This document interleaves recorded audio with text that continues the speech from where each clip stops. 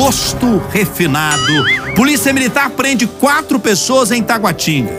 Eles são acusados de furtar carnes. A imagem, a imagem, desculpem, mostra duas mulheres escondendo as carnes dentro da roupa.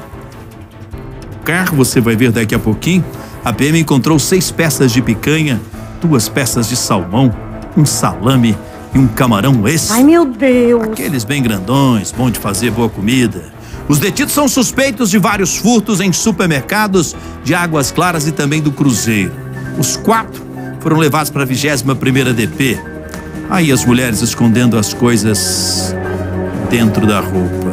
Ô Tiagão, bate palmas pra ação policial.